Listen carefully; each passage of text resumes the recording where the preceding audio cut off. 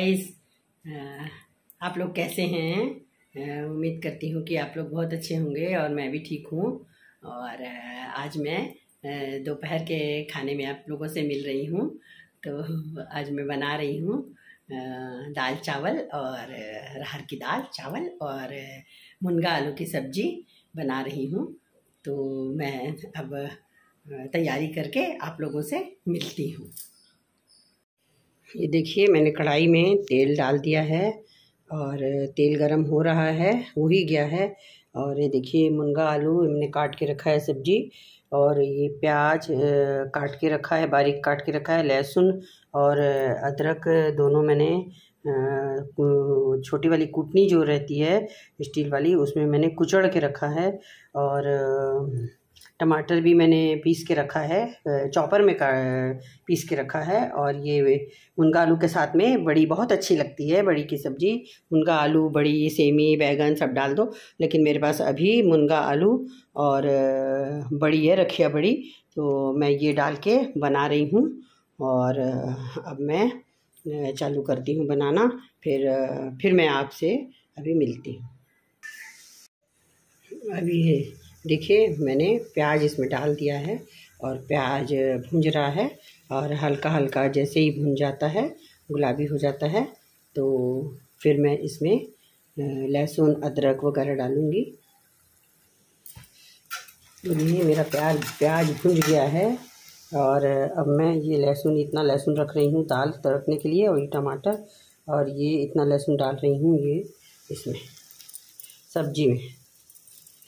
और ये अदरक भी डाल रही हूँ।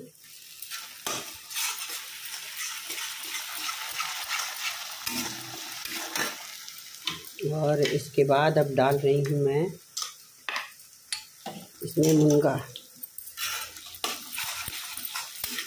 ताकि इसे थोड़ा फ्राई कर लिया जाए।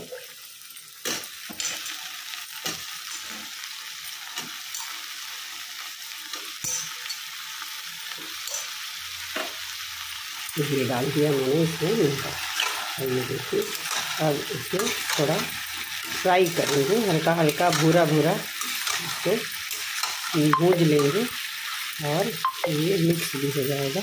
और इसमें अभी थोड़ा सा इसमें हम नमक डाल देते हैं, बाकी चीज़ बाद में डालेंगे। पहले ये नमक डाल दिए और अच्छे से नमक इसमें मिक्स हो जाएगा।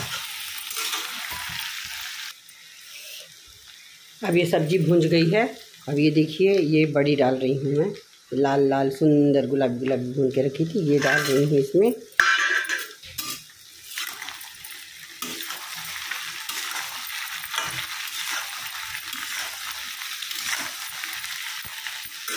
और इसके बाद इसमें डालेंगे, अब मसाले डालती हूँ, ये सूखे मसाले। ये हल्दी डाल दिए। ये थोड़ी सी लाल मिर्च डाल दिए। और थोड़ा पिसा वाला धनिया डाल दिए। थोड़ा गरम मसाला डाल दिए।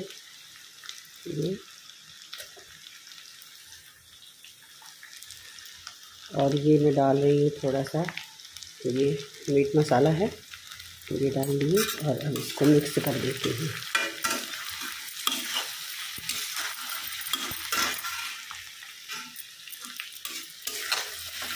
देखिए कितनी सुंदर दिख रही है।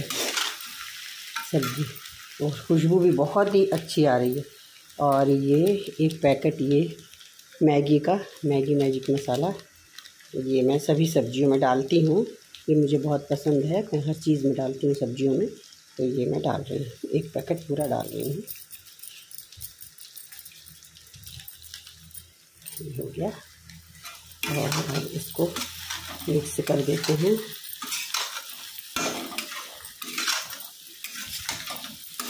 और अच्छे से सब्ज़ी भूज गई है। तो मिक्स करके अब इसमें डाल देते हैं ये। चॉप किया हुआ टमाटर।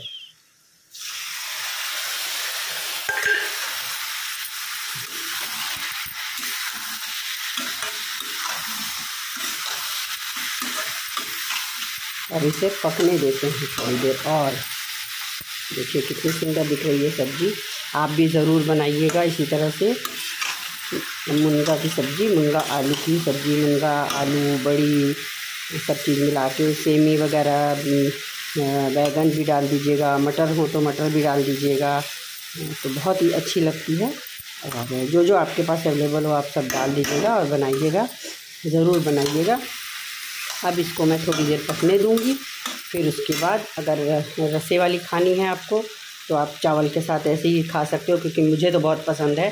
मैं दाल ज़रूर बना लेती हूँ क्योंकि बच्चे हैं, घर में हस्बैंड हैं, उन लोगों को दाल ज़रूरी है। लेकिन मैं तो मुनगा आलू की बड़ी की सब्ज़ी और चावल खाती हूँ, मुझे वही बहुत पसंद है। तो मैं उसी तरह से खाती हूँ। तो अब इसे थोड़ा सा पकने देंगे, उसके बाद इसमें थोड़ा पानी डाल देंगे। तो रसीली ही बनाती हूँ मैं जनरली लुटपुटी टाइप की बनाती हूँ तो मैं अब इसमें थोड़ा पकने देती हूँ, उसके बाद इसमें थोड़ा पानी डाल दूँगी। अब ये मैंने देखिए इसमें पानी डाल दिया है, भुंज गई है सब्ज़ी। तो मैंने पानी डाल दिया है और अब इसे हम ढक देंगे ताकि बड़ी और आलू सब अच्छे से मुनगा सब गल जाएँ। और एक चीज़ तो मैं आपको बताना भूल गई। हम लोग के इधर छत्तीसगढ़ में बस्तर में इसको मुनगा कहते हैं और कई जगह में इसे सहजन भी कहते हैं और ड्रम स्टिक भी कहते हैं। तो अभी कभी भी आप इसमें कंफ्यूज ना हो कि ये मुनगा क्या है। तो ये मुनगा सहजन है या फिर ड्रम स्टिक के है तो आप लोग भी ज़रूर बनाइए, ज़रूर खाइए। तो आप सब्ज़ी बन जाए, उसके बाद मैं आपसे मिलती हूँ। अब हम काट रहे हैं आम, और जब तक सब्ज़ी पक जाती है, तब तक हम आम का लुत्फ़ उठा लेते हैं। थोड़े से आम खा लेते हैं, आम का सीज़न है। तो मुझे तो आम बहुत पसंद हैं। तो मैं तो बहुत आम खाती हूँ। तो अब चलिए, थोड़ा आम खाते हैं, फिर सब्ज़ी बन जाती है। तो फिर देखते हैं सब्ज़ी कैसी बनी है। देखिए, मुझे तो आम देख के लालच आ जाती है। चलिए खाते हैं आम। अब ये देखिए, हमारी सब्ज़ी बन गई है मुनगा आलू बड़ी की सब्ज़ी। ये देखिए, बन गई है, कितनी सुंदर दिख रही है। मैंने ऊपर से हरी धनिया की पत्ती डाल के इसे सजा दिया है और देखने में ही बहुत खूबसूरत लग रही है। ऐसा लग रहा है बस खा लो, चावल लो और खा लो। चावल भी मेरे बन गए हैं। और ये मेरे हस्बैंड सलाद खाते हैं खाना खाने से पहले। पंद्रह बीस मिनट पहले सलाद खाते हैं तो उनका सलाद भी तैयार है और खाना भी तैयार है। और अब उनका वेट कर रही हूँ, वो जैसे ही आते हैं तो हम लोग खाना खाएँगे। और अब हम मिलते हैं अगले ब्लॉग में। तो जिन्होंने सब्सक्राइब नहीं किया है, वो मेरा चैनल सब्सक्राइब कर दीजिए, लाइक कर दीजिए, शेयर कर दीजिए और अगर सब्ज़ी अच्छी लगे, बना के ज़रूर खाइए तो कमेंट भी ज़रूर करिएगा। बस, आज के लिए इतना ही।